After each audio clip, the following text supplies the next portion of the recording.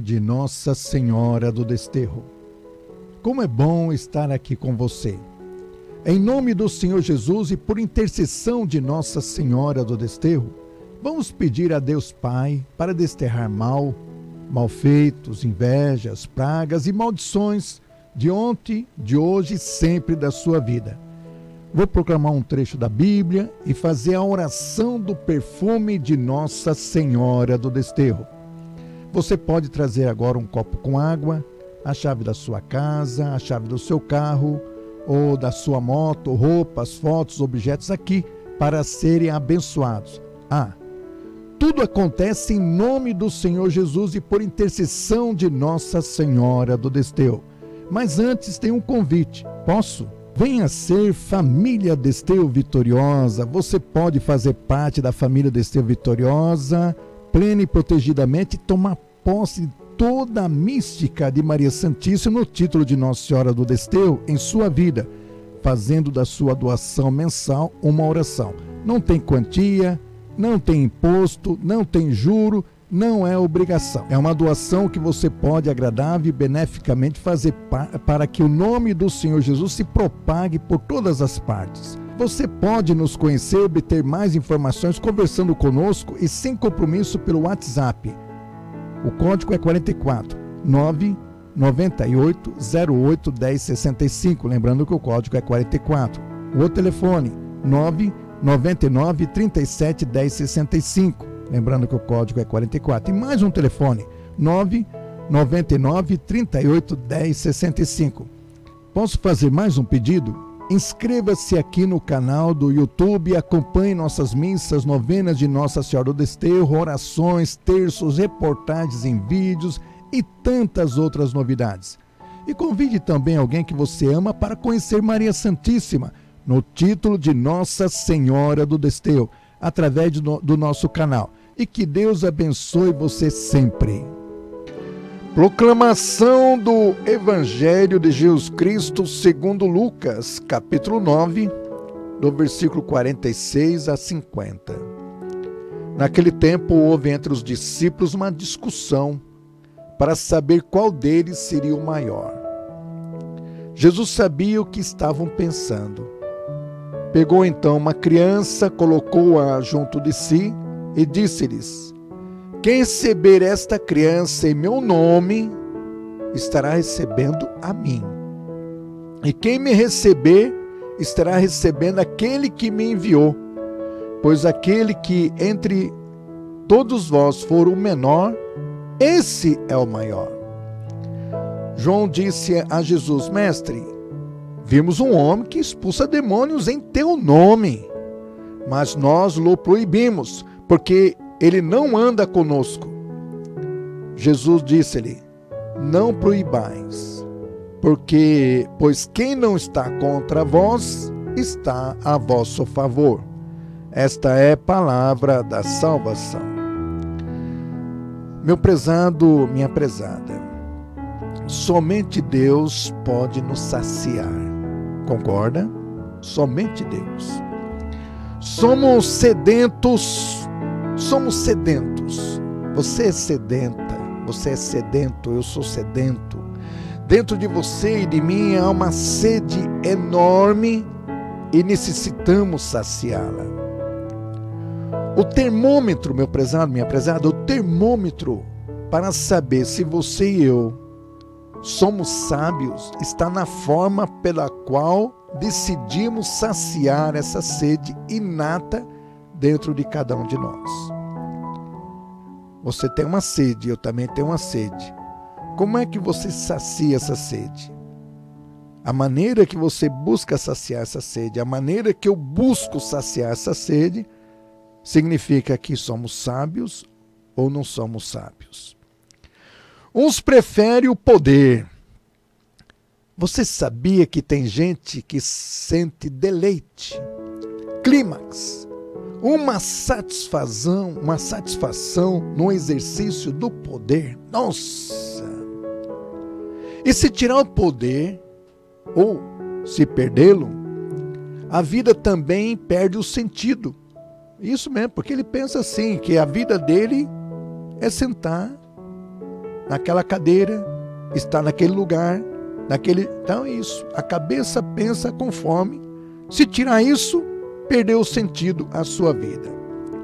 Outros o dinheiro, outros a riqueza, outros ainda a dependência química, sexual, do jogo, da internet, do WhatsApp, etc.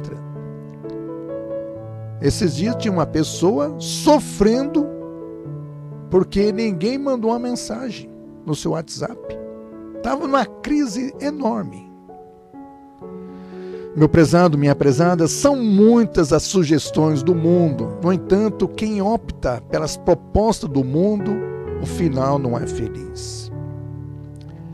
Termina em briga, violência, separações, injustiça, ódio e até em morte. Os presídios, as penitenciárias, os hospícios, as ruas e outros lugares estão cheios de quem optou pelos desejos do mundo, pela, de, do mundo para satisfazer esta sede nata dentro de si. Meu prezado, minha prezada, a única fonte que pode saciar a minha e a sua sede é Deus. Somente Deus.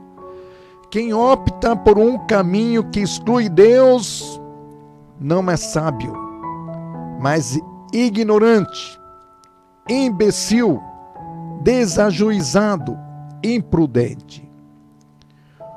O cristão, meu prezado, o cristão anda na contramão.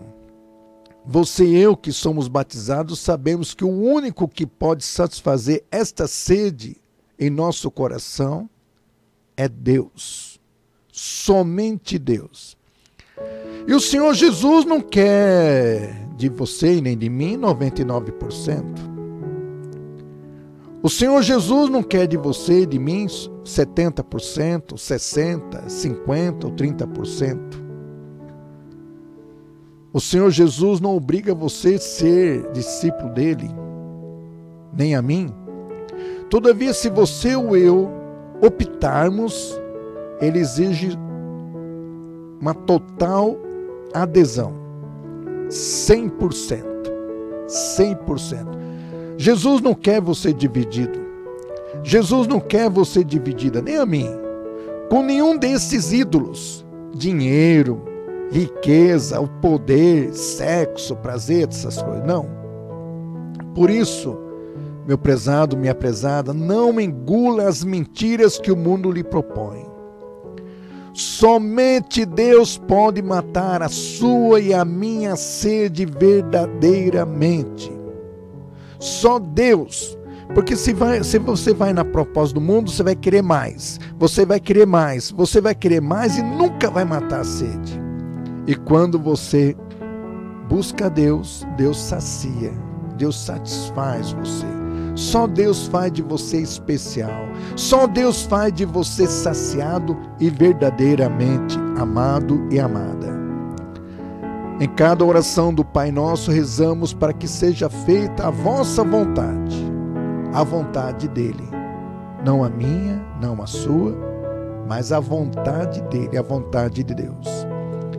Meu prezado, minha prezada, é impossível seguir Jesus Cristo sem renunciar a si mesmo renunciar a tudo por Deus que salva, que transforma e muda a nossa vida e mata a nossa sede. E para terminar, quando um grupo me pede uma sala para orar, sempre chega um grupo e fala, Pai Pedrinho, arruma uma sala para a gente fazer uma oração. Ou quando deseja, um grupo deseja ficar momentos em adoração do Santíssimo, né? É, mesmo, às vezes, o, os evangélicos, quantas vezes aconteceu aqui mesmo em Santa Fé, os evangélicos, Pai Pedrinho, arruma uma praça para nós fazermos um encontro de oração em praça pública. Meu prezado, minha prezada, tenha qualquer iniciativa em nome do Senhor, do Senhor Jesus, jamais, jamais eu o proibi. Jamais.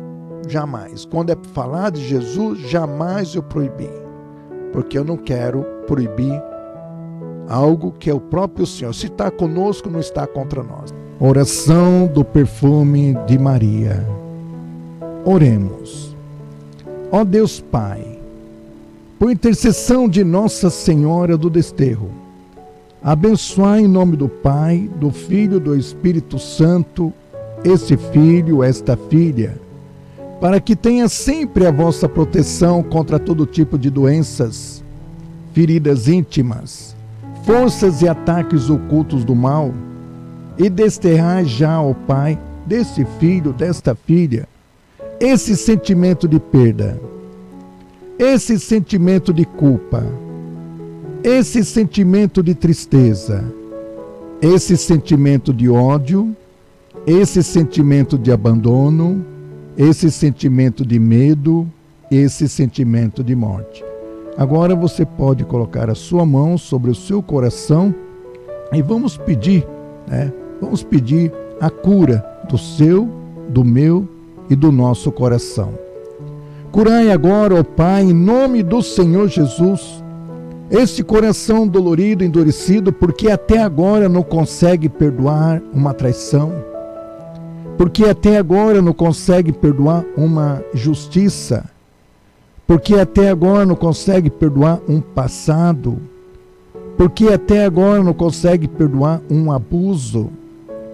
Porque até agora não consegue perdoar uma mentira, porque até agora não consegue perdoar uma violência, porque até agora não consegue perdoar uma pessoa, porque até agora não consegue perdoar nem a si mesmo, ou porque até agora, ó Pai, este coração dolorido ou endurecido não se sente amado nem valorizado que o perfume de Maria Santíssima, vossa serva e nossa intercessora, ó Pai, esteja nesta água, nesses objetos, se espalhe por essa casa toda, por essa empresa, por esse local, destendo mal, destendo invejas, destendo mal feito, destendo pragas e maldições. Nós vos pedimos, ó Deus Pai, por Cristo vosso Filho, nosso Senhor.